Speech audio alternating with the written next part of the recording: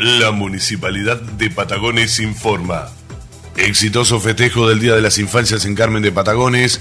Con un gran marco de público, Carmen de Patagones celebró este domingo el Día de las Infancias en el predio del ferrocarril, donde desde el mediodía se convocaron miles de familias.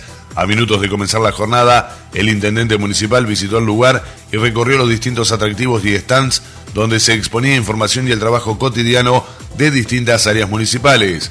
La jornada organizada por la Municipalidad de Patagones, en conjunto con la empresa Cementos del Valle, contó con juegos, shows musicales, bandas en vivo, inflables, propuestas deportivas y la participación de los bomberos voluntarios y la policía comunal.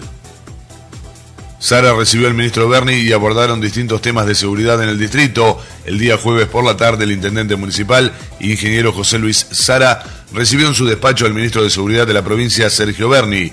El funcionario provincial arribó sorpresivamente a la ciudad, por lo que el jefe comunal hizo propicia la oportunidad para plantear diversas inquietudes y realizar pedidos específicos orientados a reforzar las acciones preventivas en todo el partido. Al finalizar el encuentro, el intendente señaló que en virtud de los últimos hechos delictivos ocurridos en el partido, se solicitó el refuerzo de personal y la incorporación de patrulleros. Me parece importante esta visita, ratifica el buen trabajo que venimos haciendo en todas las áreas de seguridad, enfatizó el jefe comunal.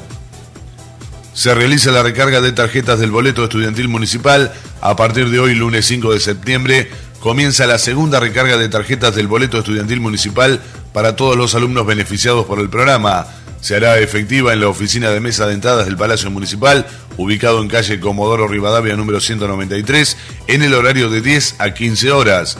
La recarga se realiza con el DNI original del beneficiario en mano hasta el día viernes 9 de septiembre del corriente año.